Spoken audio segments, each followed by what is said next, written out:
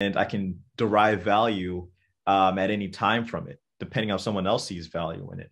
And there's just something about having that control in your hands that has a that has that has a value to it than just keeping it elsewhere. And there's actually a term for this, guys. It's called convenience yield, if you want to think about it um, from a, I guess you could say a uh, a nerdy standpoint.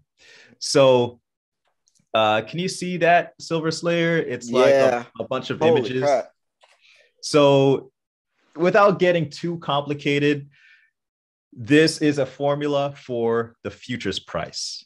A lot of us know about silver futures, gold futures, all that stuff.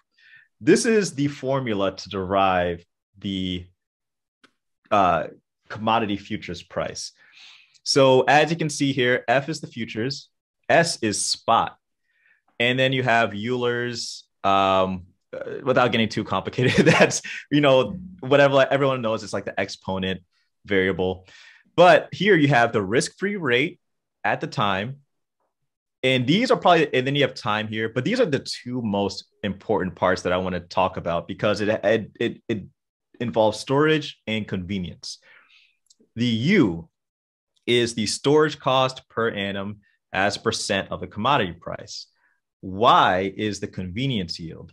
And there's an inverse relationship between these two, is what people have found. As storage levels, um, not necessarily storage cost, but as storage levels come down, you'll find that convenience yields actually rise and vice versa. As storage levels increase, convenience yields drop. And you start to find that the price of commodities uh, react uh, due to that. And the reason why I bring this up is because when you think about a convenience yield, what it essentially is saying is that there's a there's a value to actually at different times holding the asset. So in the ways that all of us say, hey, you know, if you don't uh, hold it, you don't own it, or if there's a value to actually holding the silver, there's a value to actually holding the gold, and some people may look at you like you're crazy. Well, hey, there's an actual mathematical um, formula here that basically says you're right. There's actually a value to holding the asset. And sometimes it varies depending on different times. Like no i'll give people that.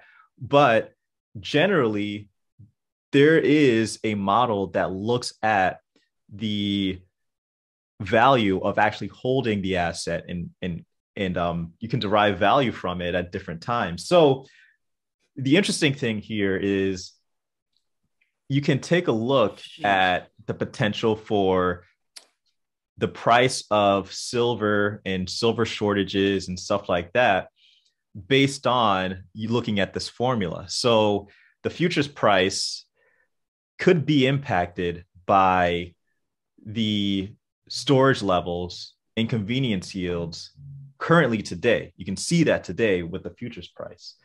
Long story short, I actually figured out what the current and let's call, and this is called the cost of carry, the U minus the Y. I actually figured out what the current cost of carry is, and it's about um, 0.048. Currently, the silver futures price is at 25.88. Silver spot is at 25.66. So currently, the cost of carry is about 0.048. Why is this important? Because if we ever see the silver futures price go crazy, just out of out of the ordinary, and the silver spot price is kind of just like tripping along, but the futures price looks like it's doing crazy stuff. That's how we know there's something potentially going on with the cost of carry. Something's going on with the storage levels, and something's going on with the convenience yield. And as the convenience yield gets bigger, it makes the cost of carry smaller. So if we ever see a time when um, the convenience yield or the cost of carry gets very, very low, we know those storage levels are becoming somewhat scarce. So it's one of those things that we can kind of take a look at even currently uh, with what's happening with Russia and Ukraine. There's an article here that says, How high could Ukraine crisis push oil prices? And this is one of the ways that we can see it in real time how storage levels and the cost of carry can impact prices. Take a look at this. Russia's invasion of Ukraine has already driven oil prices above $100 per barrel, which is something we all know. How high, how high they ultimately climb will depend on many scenarios, including how far Russian troops move into Ukraine, whether stricter sanctions are inflicted by the West, how seriously energy flows get damaged in the conflict, and whether Russia halts oil and gas flows to Europe and the US. JP Morgan Chase reckons that an all out war could prompt oil flows to drop by 2.3 million barrels per day, boosting prices to $150 per barrel and reducing global GDP by 1.6%.